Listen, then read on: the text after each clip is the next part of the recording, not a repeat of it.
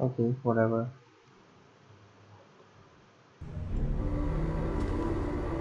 The killer is white, aged between 30 and 45. He doesn't act on impulse, but plans his crimes in a very meticulous fashion.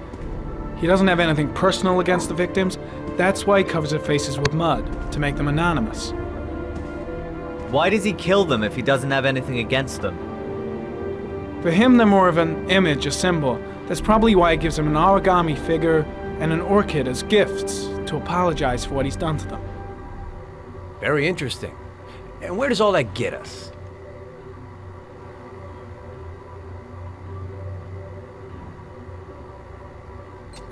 The best way of tracking a predator is to be familiar with his behavior. That may be true in novels, but there's a child's life at stake here. Continue, Jayden. One detail attracted my attention. The interval between the time when a victim disappears and the time when the body is found ranges from three to five days.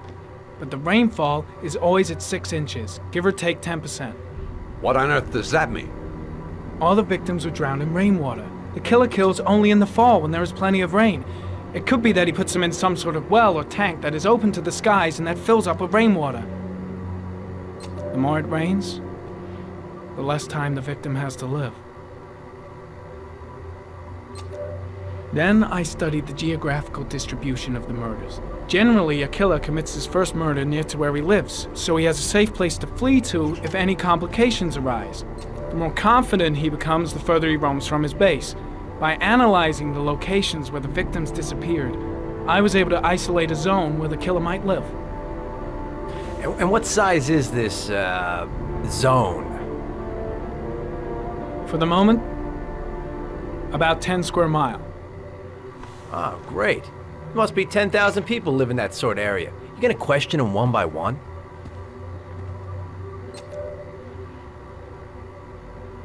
The more clues we get, the more we can reduce the zone. We can then cross-check it with our list of suspects and identify the killer.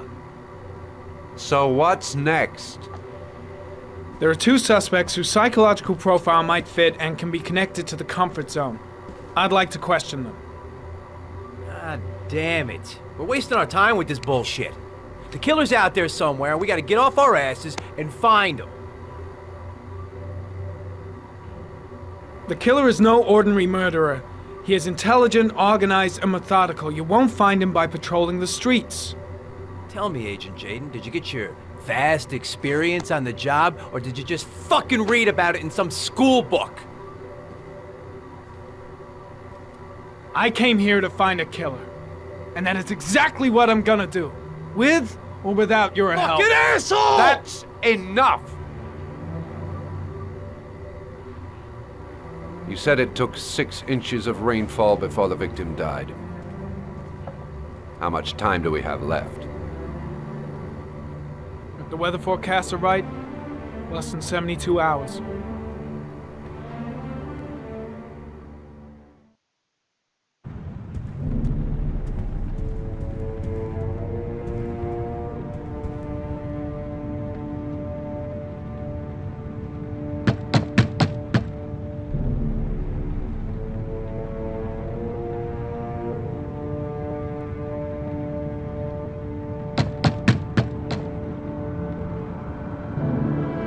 No answer.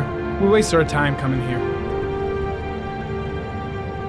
Maybe we should have a little look inside anyway. There's nobody home.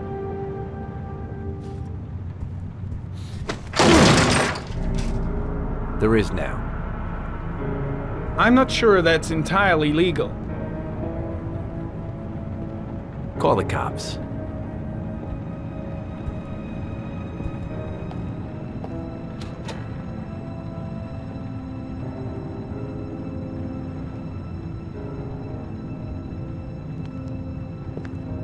Looks like Nathaniel Williams is a pretty religious guy.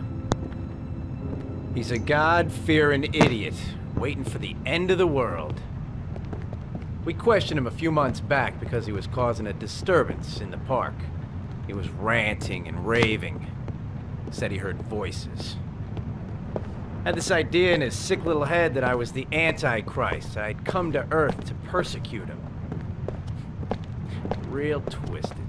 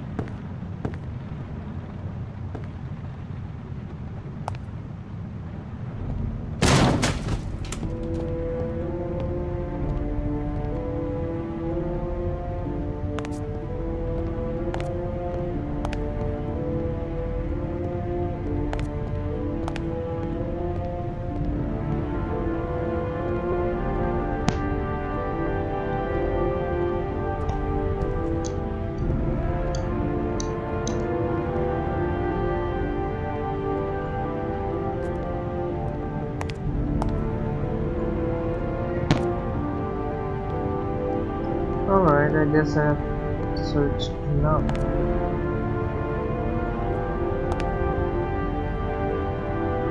Pretty religious guy. It's too much religions for me. Plus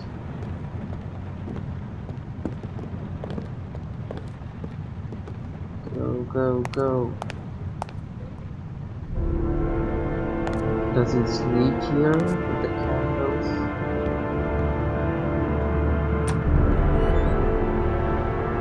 Too much medicine? What does it mean?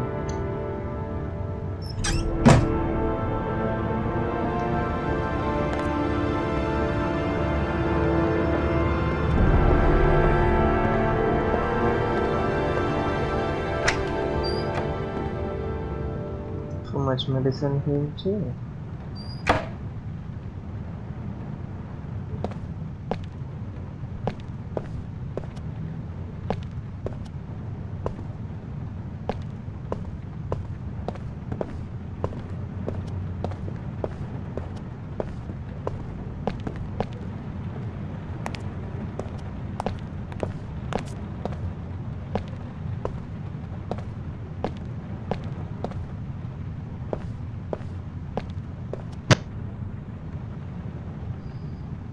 Too much medicine here too.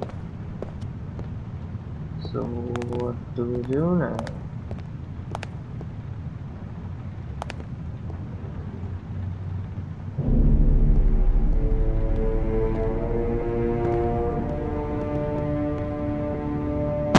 Oh stifling in here. Those windows haven't been opened in years.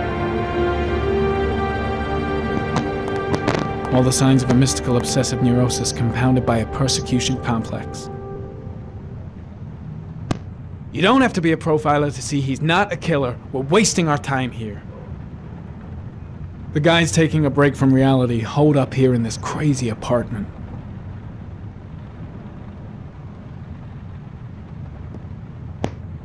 Something written.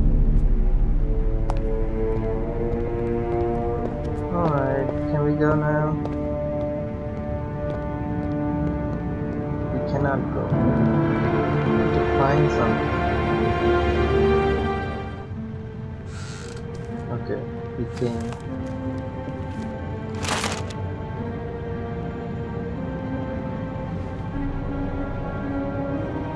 Good timing, Nathaniel. Just the man we're looking for. Angels and ministers of grace defend us. I'm Agent Norman Jayden, FBI. I'd like to ask you a few questions. As God is my witness, I haven't done anything. I'm innocent. Relax. Nobody's accusing you of anything. We just want to talk.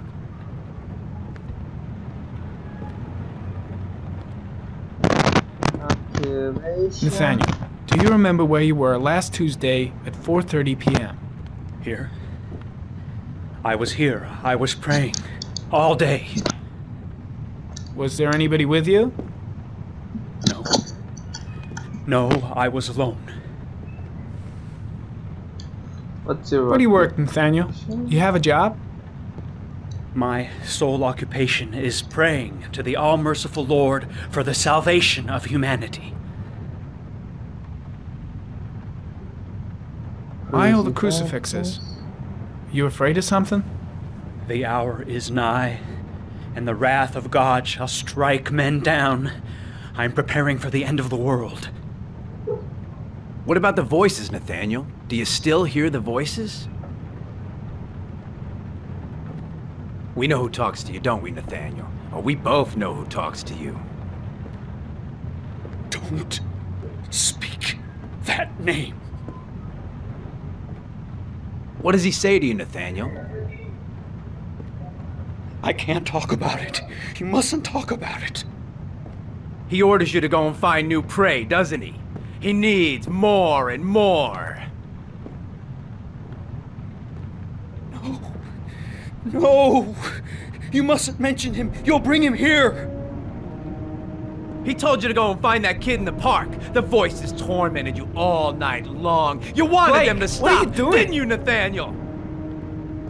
Stop! That's enough!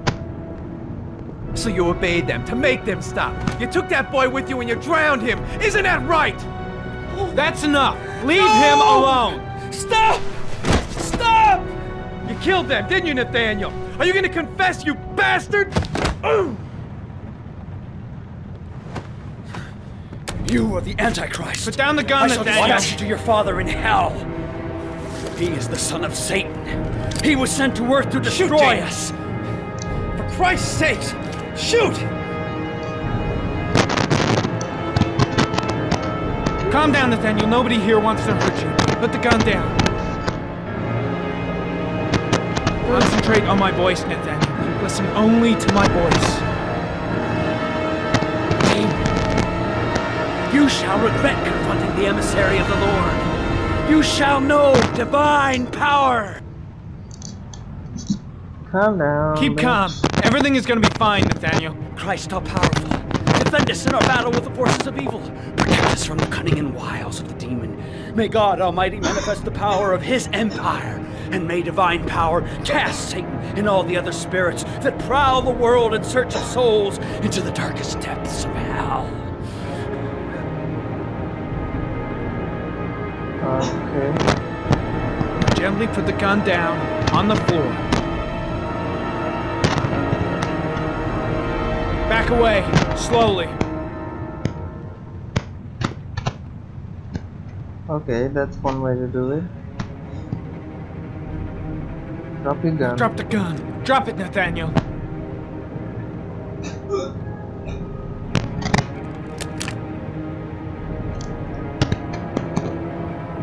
Put your hands on your head. Turn around.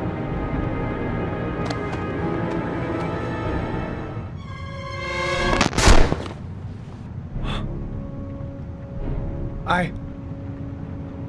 I shot him. Yep. Looks like you did.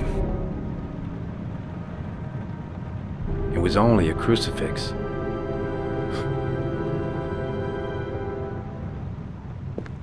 Can't say I'll miss him.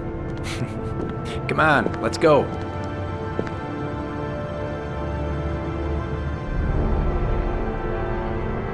What the hell? Why did I press that button? Should have seen what would happen.